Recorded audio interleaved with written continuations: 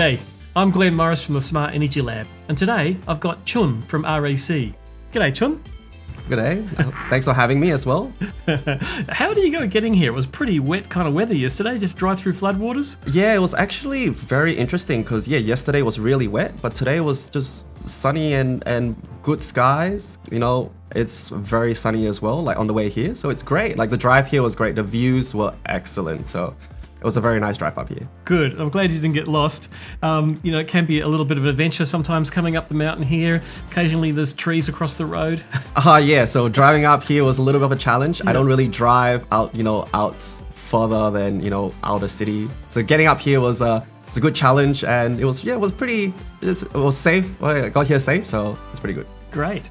So, Chun, um, you work for a company called REC. Just tell me a bit yeah. about REC. So REC, REC is a well solar panel manufacturing company. So what we do is we manufacture solar panels, as it is, um, and we are actually a Scandinavian company um, founded in Norway in '96. So um, we're just gonna bring it up here for you really quickly, as we can see here, right? Just the history of the of REC in itself. So we were founded in Norway in 1996, and then you know they've been doing wafers and stuff like that, and then they started in Singapore in 2010. Now so REC, we started manufacturing our panels in Singapore, um, and the first iteration of that was the peak energy panels. And so that went on for a bit, and then a couple of years after, um, we also discovered the half-cut cell technology. So we were one of the first few manufacturers that actually adopted that technology, and it came up with our REC Twin Peak series. And then we got a Twin Peak, and then you had Twin Peak 2 and Twin Peak 3, and then along the way, we thought about, look, you know, REC is all about trying to innovate. We're trying to be ahead of the pack. We're trying to push the boundaries of solar panels to another level. So hey, uh, just hold for a second there. Yeah. So um, you were one of the first to introduce half-cut cells. Um, we were one of the first to adopt that technology. Yeah. And so that's why we came out with our Twin Peak series. So our our peak energy was just you know um, a flat piece of P-type cell yep. um, panel, and then again, like we had the crossroads of we can either just keep doing what the market was doing, or we can just go off the path and adopt this new technology and see where that takes us. So back then in 2016, or sorry, 2015, um, that's when we adopted that half-cut cell technology and we just put it on the market as our Twin Peak series. Were they P-type? Um, I think the first ones were. Yep. And then as we went on and as it picked up, the half cut cell technology picked up, and that's when we trying to change, like we changed it to like an N type, and then um, on the mono PERC, and that's where you get like um, our Twin Peak series, our N Peak series. That's where the N type series um, panels are, and then after that you get our Alpha series, the HJT cells. Yeah. Now, I can feel my audience asking a question already. So, what's all this business about P type and N type, Chun? So, they're just different types of cells, mm-hmm. or like in terms of efficiency wise, it actually greatly differs from the P type and N type. So, it's really just the um, the wafer that's that's used in the cell. So, in a little bit, I'll get into that because the Alpha series, which I want to talk about after, is what we call as a heterojunction cell technology, HJT cell. And that actually gets a combination of different layers and different types across the years. And you kind of just mishmash them together and you get, you know, the best of everything while trying to minimize the downsides of them.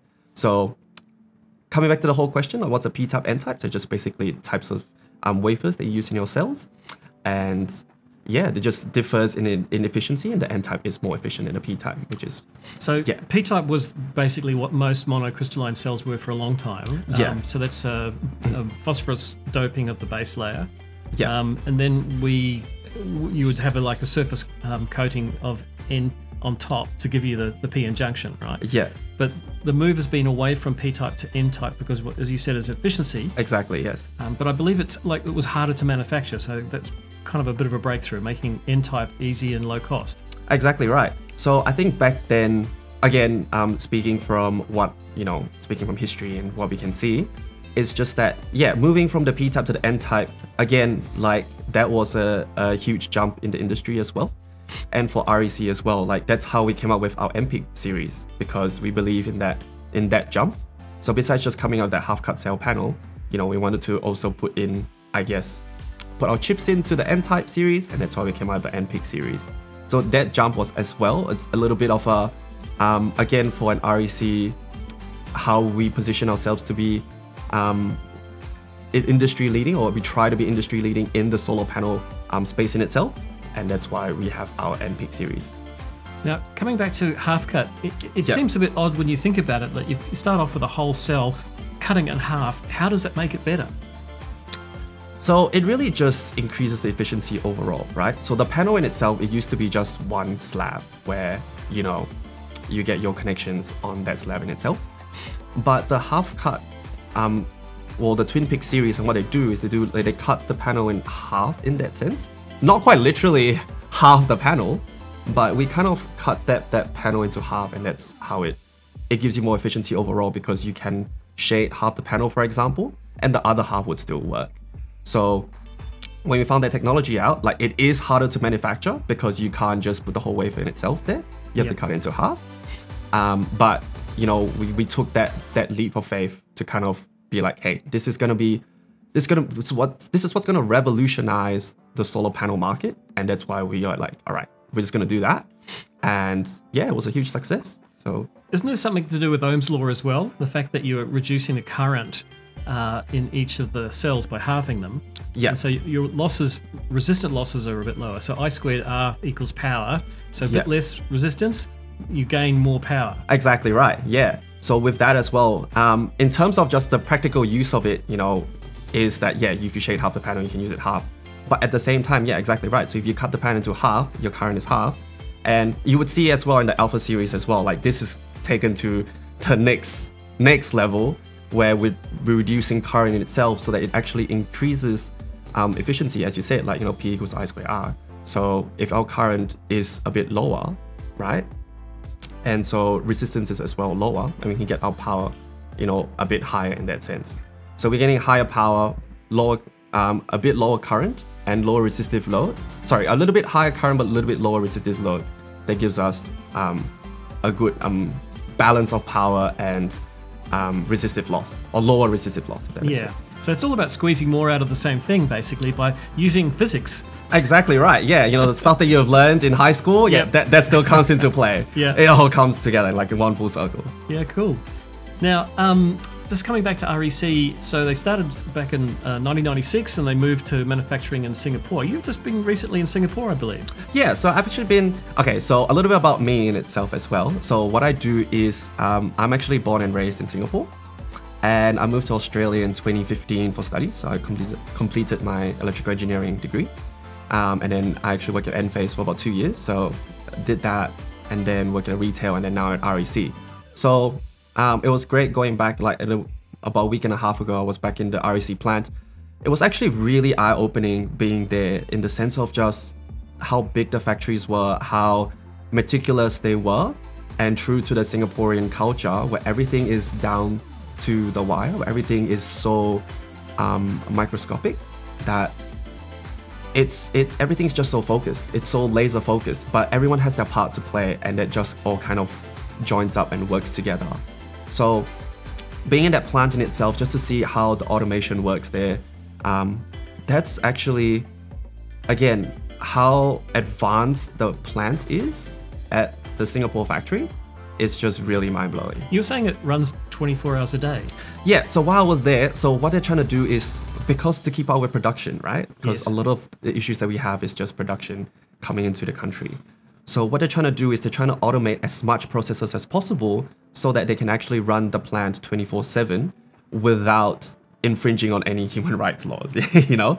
Right? We don't want to work anyone across the clock. Yes. Um, but with automation, what it does is it helps improve quality, it helps to improve reliability, and we know every single thing that goes in and out, and there's no room for human error because everything is done by machinery.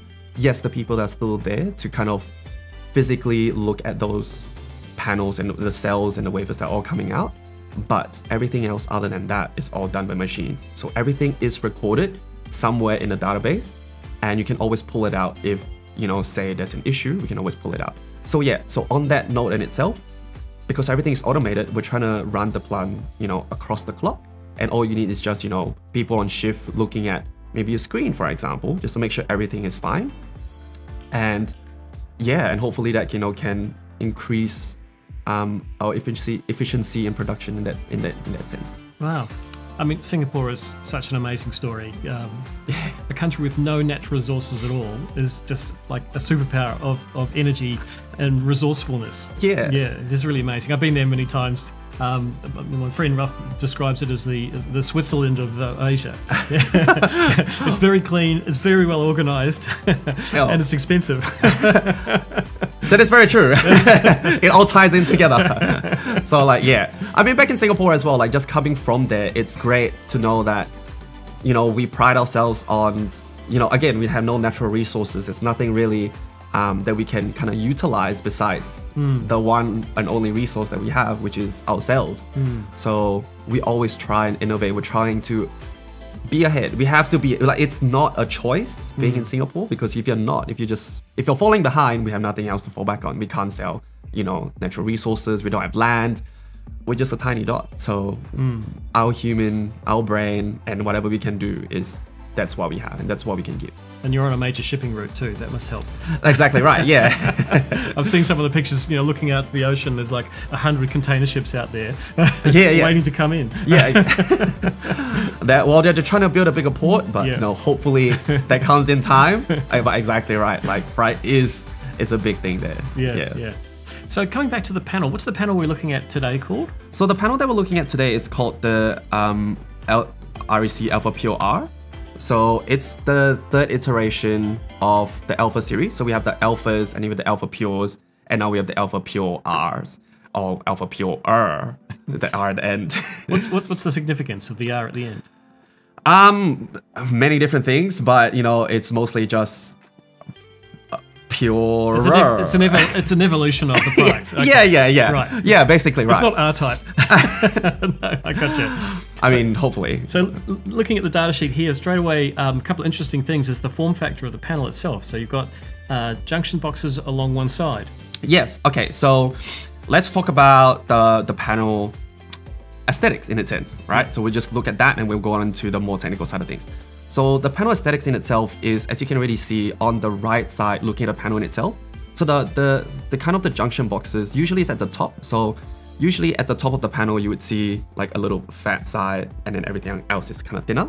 But for the Alpha Pure R, because our junction boxes are on the right side, on the side of the panel, that it's you get the little fat kind of like black line there. But I think it just makes it look a little bit more different, and you can immediately spot whether it's a an Alpha Pure R panel or like another shingle panel in that sense. It's just by you look at the panel in itself. It identifies itself by itself, right? You know, there's nothing else that you kind of look and have to consider about that. So that's number one, the bus bars on the side. Number two is, so you can see here as well, the layout is a bit different where you have four sections of the panel um, going from top to bottom. So it's not left to right anymore.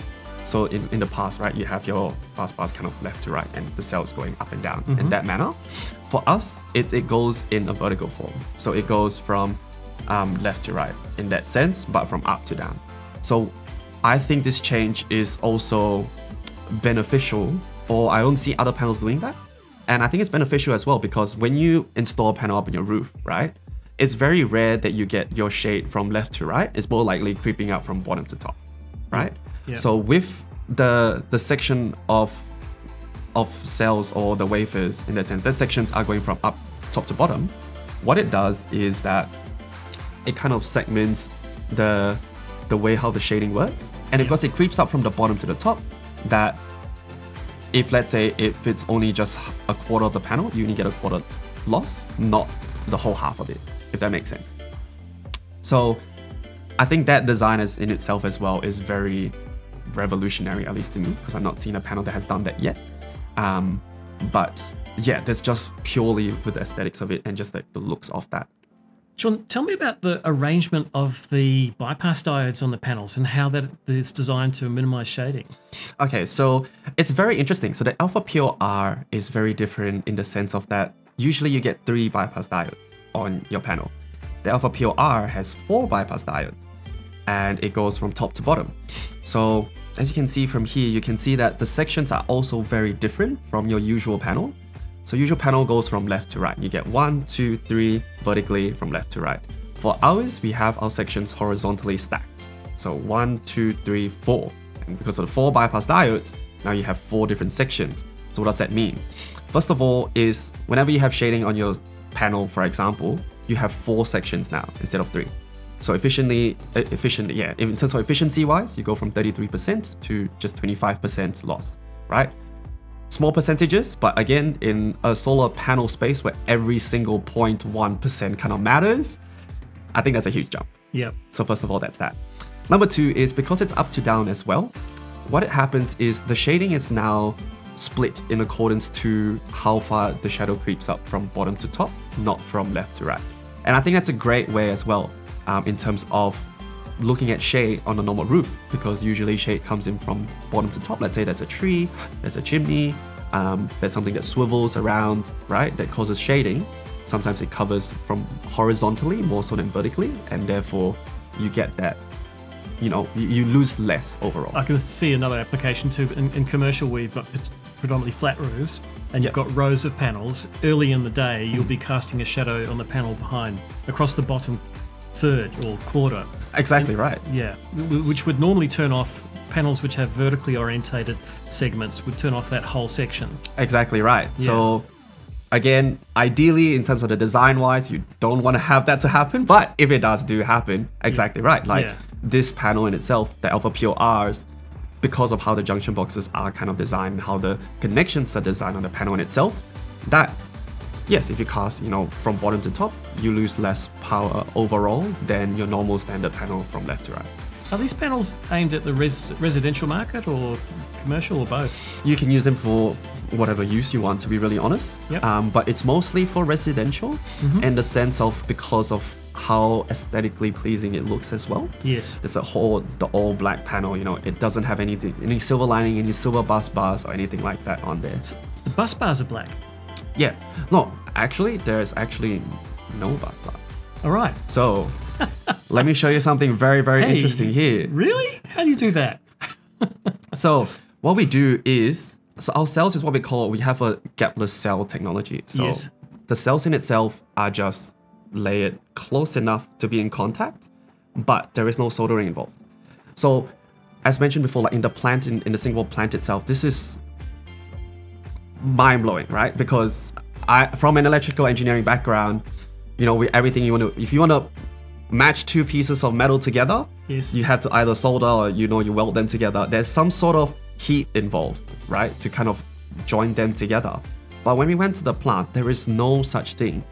Everything is kind of printed or screen printed in that sense. You get there, it just kind of like goes through and then it comes out, and that's all your connections there straight away. No soldering involved, nothing like that. There is no heat induced into any of these panels or any of these connections, and therefore, because there's no heat involved, or I would say low heat involved, no soldering, anything like that, that you have that that sort of resistive loss or that kind of um, error that kind of goes away. You know, you don't burn any of the, the cells. You don't have to induce any stress on these cells or wafers, right? Everything is just kind of matched perfectly together, side by side. And because there's no soldering as well, that helps us in to making our panels lead free as well, or ROHS compliant Right. because there's no lead involved in in the use of the soldering and even if there is any sort of small soldering involved or any wiring anything like that it's all lead free Yes. so we have used lead free soldering for those um, applications and yeah it's just really mind-blowing to see how the cells in itself like we used to have bus bars and now it's no bus bars everything's just you know connected very meticulously and very intricately together that it's connected Would you describe that as shingling? um, in in some sort, but it's not at the same time. It kind of makes sense. Like, The cells aren't sitting on top of each other, slightly overlap like shingles on a roof. They're just abutting. yeah, yeah. So if you if you look at at the slide that we're gonna show you here, so it's just very closely overlapped. So in that sense, it's yes, like shingling does the same thing. Yes. It's very similar, but what I've been told is it's a, it's also a little bit different. But then again, it's a it's a Oh, trade okay. secret. Trade secret. Fair enough. Let's call it gapless. Yeah, gapless cell technology. I That's like what they it. call it. But um, I guess one of the advantages, apart from the fact that it's lead free, is that um, the coverage is, is more complete too. So there's no wasted area on the on the, the panel. Exactly right. So, as you can see on the, the screen here, because of the lack of soldering, because again, and there's lack of bus bars, you're actually improving the area that the cells can occupy, or you don't need that much of a. I would like to say wasted space because if you only have your bus bars, it's a needed space. But because that's gone, It's cell shading. Uh, bus bar shades part of the cell. Exactly, yeah. So you can actually actually kind of compress the panel a little bit smaller. And again, when in a solar panel space where every single millimeter matters, these small savings will add up on the overall shape of the panel and the overall size of the panel as well. Yeah. Now, I've heard people say that having lots of bus bars, like you know, ten or twelve, helps reduce the effects of micro cracking. Uh, Is there any correlation with the way you do it with the gapless technology, in terms of the effects of micro cracking? Okay, so in terms of micro cracking in itself, that's when you worry about micro cracking. So we instead of trying to worry about how, or rather, whether the bus bars would help in micro cracking. So what we do is our cells, we try and make them as robust as possible. So as you can see here, our cells actually bend quite a bit. Whoa. Yeah. okay. So it actually bends to a point where you think it would crack on the normal cell, it would crack. But the REC alphas and alpha PRs in this sense, the cells actually are flexible enough that it wouldn't cause a problem if there is any sort of, unless you don't excessively put force into it. Yes. Otherwise, it should still hold up. Um, do you know the thickness of the cells?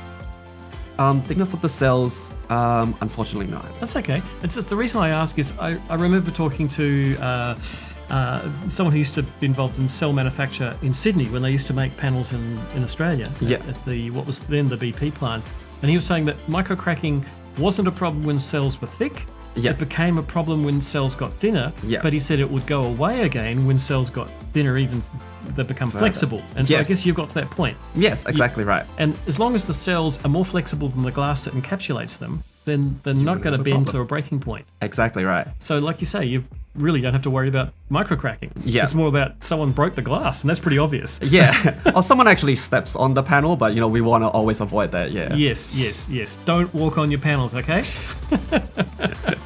now, um, um, you've got a slide here showing uh, P mono PERC. Now, PERC, um, passive emitter rear collector. What's that all about? So that is just really, I guess, the type of technology that it comes by um, in terms of how the P-type again, like. So P-type, you have your, I guess you have your P-type mono PERC, right? And then you get into N-type, and then you get into, um, or what we call as a HAT, and that's what we have, the cells that we're using right now. So I want to just introduce to you um, the cell or how our cell is kind of made, or how wafers are kind of made, right? So going back to the whole issue about you know p-type, n-type, and the different types of um, and mono PERC in that sense as well, like how it all comes by together. So what we do here is that what we the, the cell that we use is called the heterojunction cell or HJT cell. So what we do here is we actually combine a few types of the this the technologies used in the past. I think that's a good way to put it, right? So we're not actually innovating anything new. We're actually taking technologies of the past, put them together to create something new. And I think that's ingenious because that's how Singaporeans are as well, and how we are as a people, where we combine the talents of everyone and you get a, a better byproduct out of it. So as you can see here, like for example, instead of using the P-type, we have the N-type mono wafers. Mm-hmm. So again, because the whole P-type, N-type, N-type is more efficient, so we use the bulk of that as the bulk of our wafers.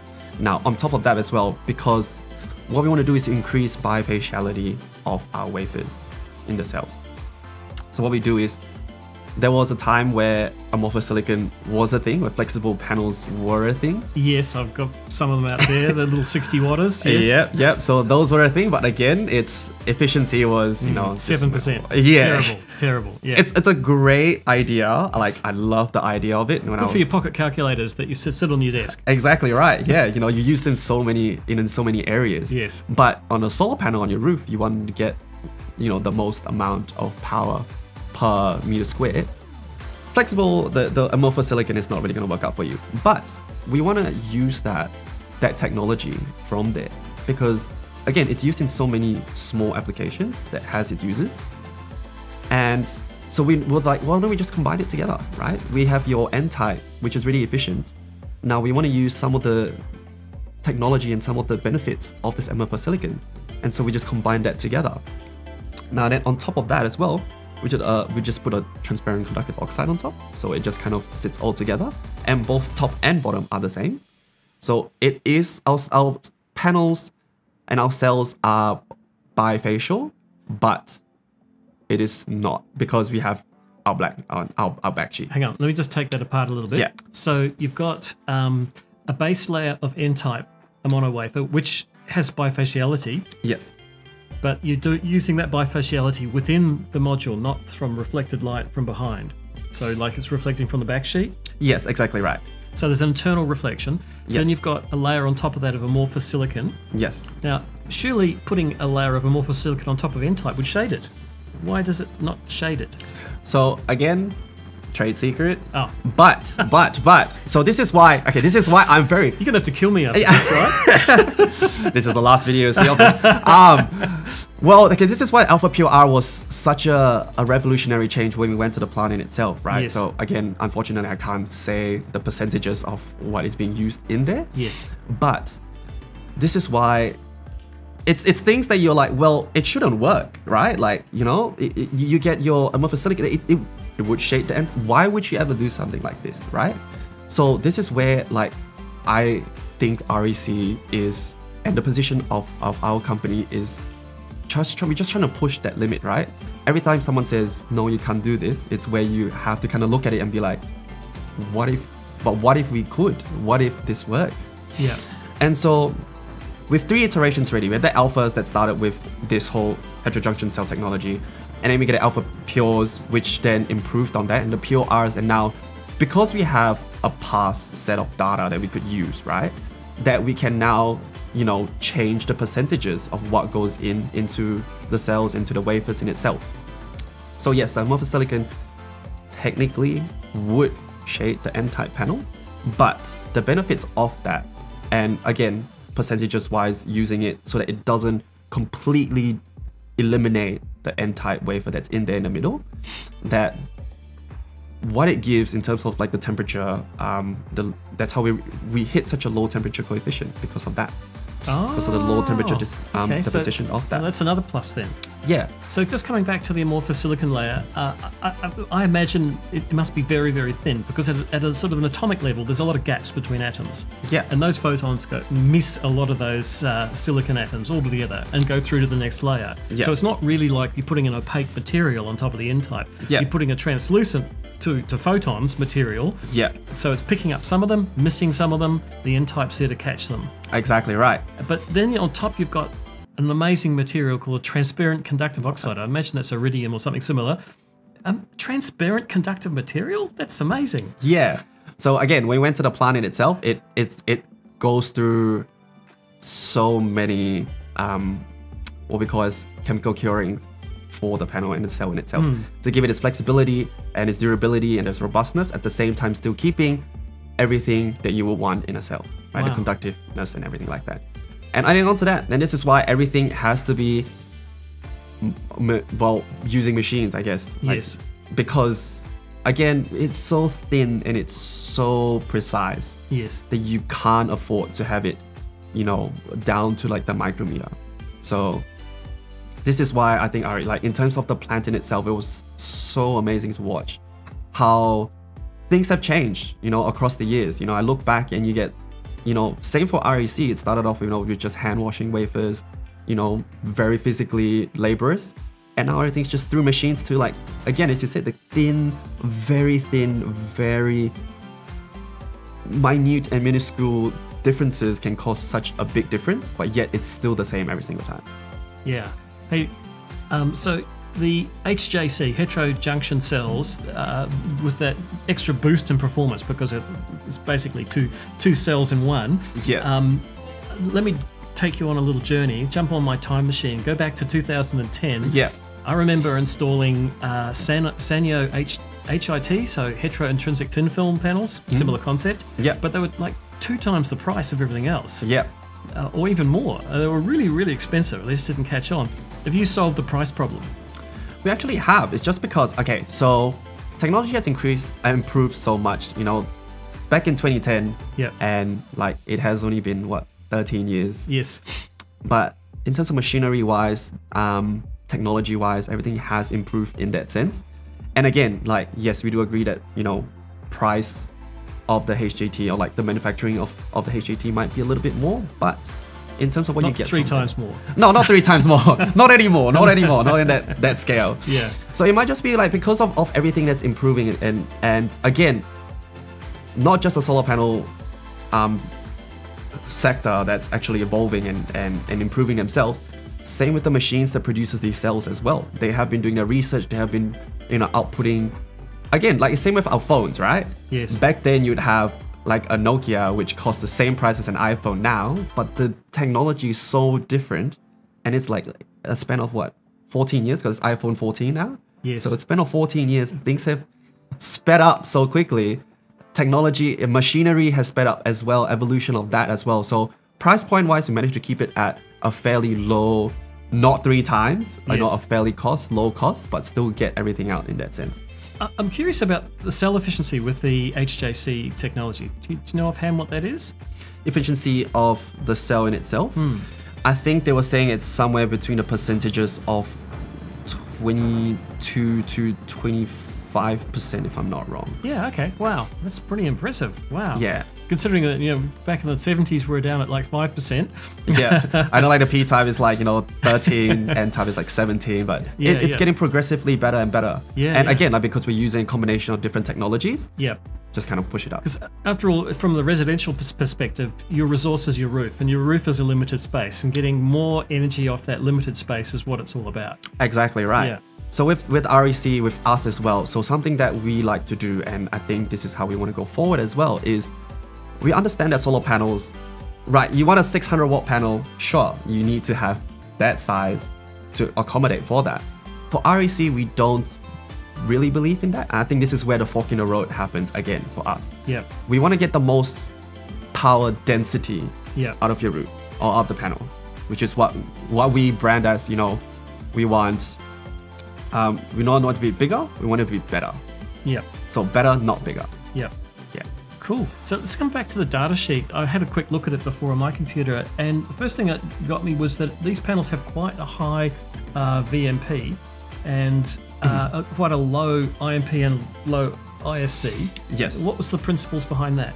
So as you know, as we discussed before, like you know how the, the half cut cell actually kind of mm-hmm. improves efficiency overall because of the low resistive losses. Mm-hmm. Same thing here. So that's why what I was talking about then was the Alpha Pure Rs and how we took it a step further is again we try and drop the current and improve the voltage. So this it's a two-pronged effect that helps our panel. So first of all, okay, with low current, you know, you get low resistive technologies, or low resistance, sorry, and so therefore you get lower resistance losses. On top of that as well, we have a low, one of the lowest temperature coefficients in terms of VOC wise. So it's minus 0.24%. Wow. A lot of others are 0.26, 27, 32, etc., etc. What did you say it was? Two, 0.24%. two, four. Okay. Yeah, our Oh, yeah, on the right. There. right. Yeah. Wow, that is that is really good. For those who are not familiar with this uh, temperature coefficient thing, basically panels as they heat up lose power, Mm-hmm. and the coefficient is the rate that they lose power at. So a lower coefficient, because it's a negative coefficient, the better. That means on a hot day you're still producing lots of power. You're not not uh, losing it to physics. So yeah, that's another way of squeezing more out of the same thing. Exactly. And we kind of doubled down on that because, again, because we reduce current, Yep. but to produce the same amount of power, we need to jack up something, right? It's Yeah. either power, it's either P, P equals IV, so either current or voltage. So with our leading voltage coefficient of, you know, at minus 0.24%, we doubled down. And so we improve or increase our voltage so that even on a hot day, because of the high voltage and the low voltage coefficient, you're actually losing a little bit less power overall. Again, kind of just to reiterate, solar panels industry, every single percent, every single watt count. And when we do that, I think it's again like small things like this. I think positions us out of the market where we think of the panel as a holistic, like in a as a whole, a holistically, um, everything in there and every change that we make has to benefit the customer in some way. I'm, I'm thinking you must be happy with 5033, the 2020 edition, raising uh, the domestic voltage up to 1,000 volts now. So it makes it possible to get a lot more panels in series. Exactly right. We've still got a little problem with 4777, but we're, Yeah. working, we're working on it right now. Don't you worry. Um, we'll solve that one shortly. Um, there is, you know, you could say it's just a hiccup, but it's the fact that there's different standards overlapped at that point. Yeah. But uh, certainly for anyone off grid or DC coupled, uh, 1000 volts domestic is the go right now. Exactly. Yeah. And that would really suit your panels too, because per panel at about you know 60 volts open circuit, um, you probably want to be around the nine panels on a 600 volt system. Yeah. Yeah. Well, yeah, 600 volt system for now. but- for now, yeah. As we but get bigger. 1000 volts, yeah, you, you'd be at 12, 13, 14. Yeah. Exactly right. Yeah. Yeah. Great. Um, also, with the lower current, you could probably parallel and still meet the input limits of mini inverters because you could put two strings and you're only running it. So, what's your IMP? Around about eight and a half amps. Yeah. So I have actually have drawn up something. It's a little bit unrefined. I'm not gonna lie. All right, it was done on PowerPoint. All right, give me give me a break. But it kind of explains how our how our panel can be installed on a more physical aspect. Oh, right? good, So- good, good, good. Yep. we have this parallel the strings design that Mm-hmm. I kind of so I've just used a very generic inverter Yep. Fronius. Um, and you can see here, so they have different MPPTs as well, right? MPPT 1, MPPT 2, there's unbalanced MPPTs. Perfectly fine. Now, in that case as well, if in a case that you ever want to do a three parallel install on one MPPT for uh, reasons, Yep. you can, especially with our panel as well, because of the low current. When you parallel that parallel them together, right? Our IC's 8.92, you get on three different strings, parallel them together. You probably need a fuse, fuse protection because Fronius has a 25 amp fuse protection. This goes up to 26.7. So you might need a separate fuse protection for that. But it is possible to kind of parallel them together in that case. So if you do need a design that needs to do three different strings in three different um, orientations, for example, to one MPPT, perfectly fine because our, our, low IMP and ISC. Hang on, what's the series fuse for these panels? Um, 25. 25 amps. It's right there at the bottom left. Right. So you wouldn't need series fuses. Uh, sorry, you wouldn't need um, uh, string fuses because uh, n minus one strings is less than 25. True. So true. you're, you're all good. So I, I think what the point you're making here is even though these three strings can put out 26.76 amps, the input limit of the MPPT being 22 is not actually a problem. yeah. I mean, uh, many people think that when they see the inverter says maximum input current 22 amps, you can't go over it. Well, they forget that the inverter is in charge. The inverter actually is a smart load. It controls the current that it chooses to draw from the panels. So you might think, well, that's a bad idea. I'm not getting all the current out of my panels. But basically, um, it's about maximum production over the day. Exactly right. Yeah, and every day isn't a perfect sunny day. I can tell you that in Melbourne. Right now. That's right. Yeah, and really, incentives are about more solar. yeah. So getting more production for more of the day means oversizing makes a lot of sense. Yeah, exactly right. Yeah. So the oversizing thing as well kind of plays. There are some limits though. The ISC of the inverter, you still need to consider that maximum short circuit current. But you know, many inverters like Fronius have quite high uh, maximum short circuit currents. Yeah, exactly right. Yeah. So in that case, is you know when we would pair it with inverters as well. Like it has the same limitations. So one of the designs that we've kind of made as well in terms of this is if we go back to the old Sungrow five kilowatts, right? So you that still works in our in our case as well. Yes. But the only thing is because I think the old 5Ks, I've been told that it's now upgrading or they've been changing it to um, same as 20 amps. But when it when it was only You- 10 amp, sorry, you- you're talking about the ISC of the Sungrow uh, hybrid. yeah, yeah, or- or how they can, how much ISC they can really take in. Yeah. So we I put the data sheet here, and you know the max PV input current here, they put it's only 20 amps or 10 amp per MPPT. So Yeah. if that happens, still not a problem. It's still possible. This is just I'm just taking an example where you have inverters that still has this 10 amp limit on their MPPTs. I know more and more inverters are now moving up to 20, and so that will be less of a problem. But if you still have an inverter, let's say you have an old install, right, an old inverter that still works, and you still want to use them, and it goes up, up to 10 amps, you can still use our panel. That's not a problem.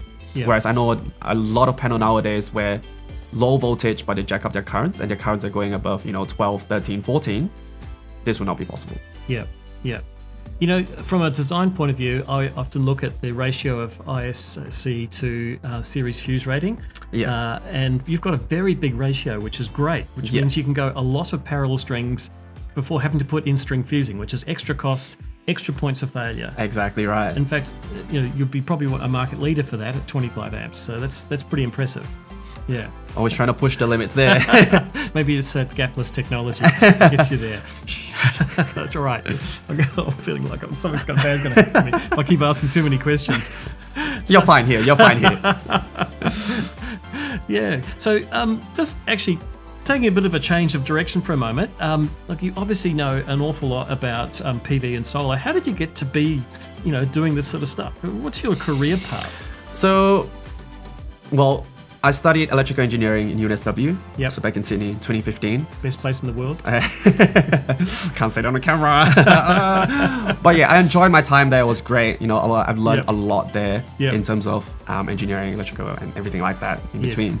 So after that, um, I graduated and I got into actually got hired at, at Enphase, Enphase Energy, and this is back when um, the IQ sevens was still coming out. They were still on their S series micros. I got some on the wall over there. Yeah, exactly right. Yeah, when I, I saw them, I was like, this is pretty old. I've not seen them in a while. So, yeah, so I started my journey, my solo journey there at Enphase. And yeah, it was it was great. I always so when I did electrical engineering, like you always at your end of the you know your, your last year, penultimate year, you're trying to think about what you want to do and what you want to where career where your career wants to take you. So part of it is a, sounds a little bit cheesy, but like I always want to do something good for the world in in some way. It's good cheese. it really is. I hope. I hope so. No one's cringing at home right now. Um, and so I was like, look, I would want ideally to, to go into actually to wind energy because back then that's the only thing that I kind of knew. I didn't really know if geothermal was a thing here or at least in Sydney, right? I know in, in other places, other states, it might be. And solar was just not a thing, right? It was there, but everyone was still on that, you know, and I guess in 2015, everyone was just still solar's too expensive. You know, you get you you can't run anything else other than your hot water on solar. So there's really no like future for it, I guess, in that sense. Than when I was studying. But then when I was stepped into Enphase and I got into the solar world, and I was like, how wrong that everyone was still on that, you know, that backwards thinking. And it's just like it's so it's moving so quickly in the solar in the solar world, right? You know, 2015 we had you know 330 watt panel and that was the base, and now we have you know 400 watt panels, you know 415, 430s. Easily, just in the span of five years, we've, we've moved across so much. Yeah. So I started Enphase Energy and it was great, you know, learning about microinverters, learning about panels. And because microinverters was such a new technology back then, like Enphase was still um, fairly new as opposed to the string inverter um, sector. So that challenge was actually very interesting to kind of tackle. Just trying to see how people think about solar, how how different technologies affect the panels, how are they accepted in in the sector in itself.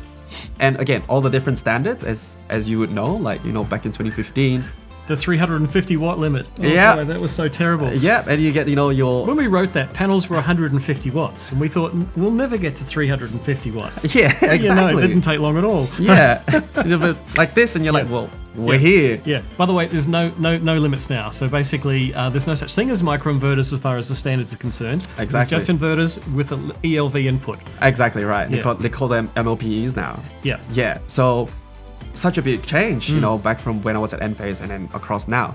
So I got my foot into that. Um, I did for a couple of years, and then I went into retail. So I went to see how trying to get into the minds of our installers actually work in that sense. So I was like, look, the best way to get into that, let's try selling. You know, let's try selling this and see how where it takes me. Right?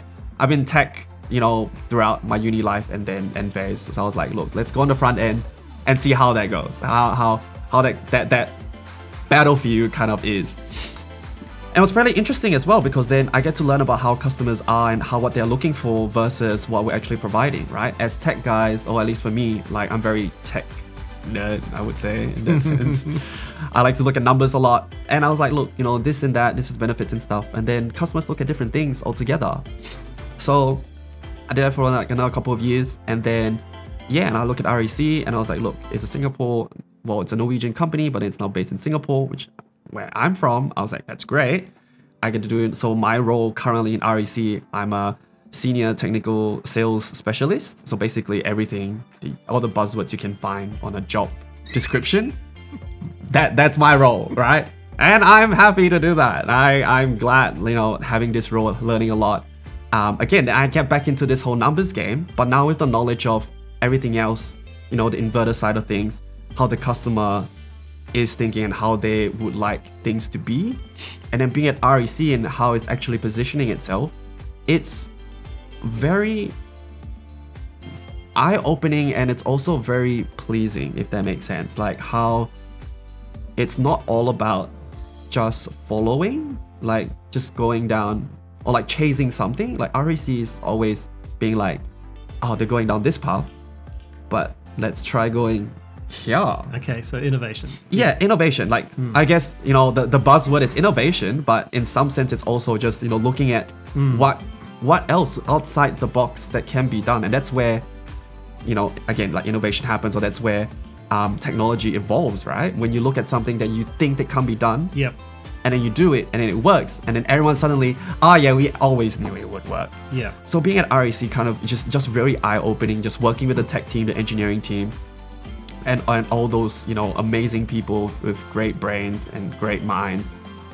It's just yeah, it's just I'm, I'm right now you know I've joined REC for like close to a year now, and I'm, I'm still learning a lot and enjoying my time here. Yeah, cool. It's great you get to have trips home too. Visit your family or friends. yeah, well, it's a two like it, it serves both purposes. Yep, so yep. I'm glad to have that as well. hey, that's cool. Um, so we're coming sort of to the end of things. Uh, is anything else you'd like to tell me a bit about um, the panel or REC that we haven't covered already?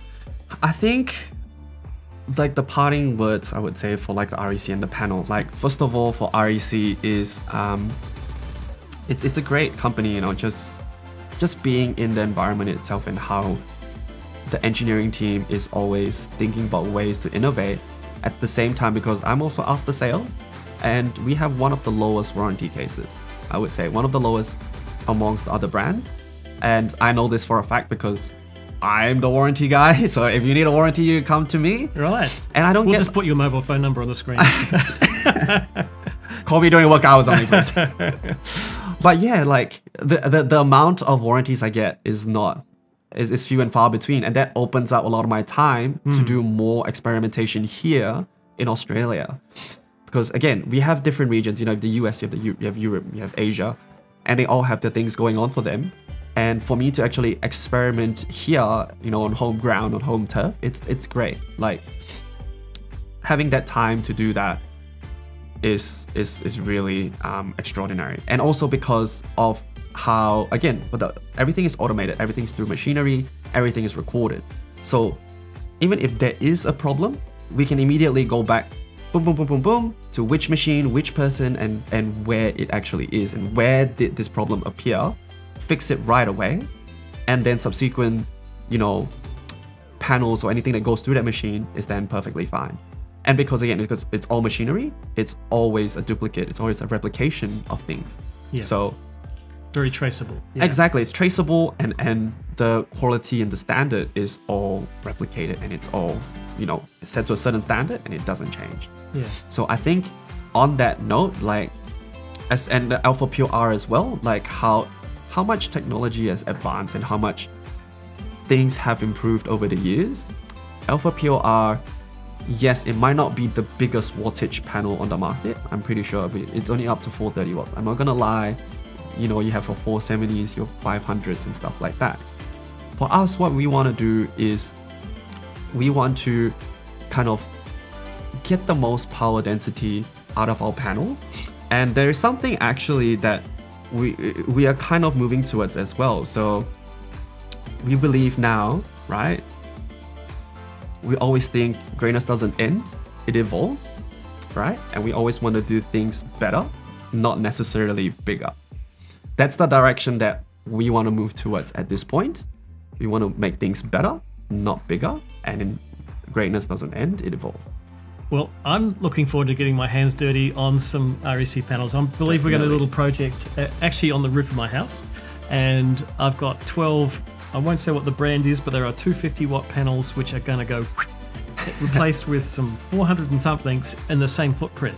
So there's the change. Exactly. We're basically, you know, getting another, you know, 40% more power out of the same roof area with quality. Exactly right. Yeah. And again, everything on there, you know it's gonna last you I wouldn't say your lifetime, but Hmm. it is structured for your lifetime. Yep, yep, yep. And so I'll, I'll link that up here um, when, when we've done it, so you can you can watch that video as we install those panels. But anyway, well, Chun, thanks for coming. It's been really informative. I've learnt quite a lot about uh, uh, REC, and I'm really excited by the HJC technology. So I hadn't realised that's uh, what's embedded in there, and the, um, the secret T- gapless te- technology as well. Yeah, cool.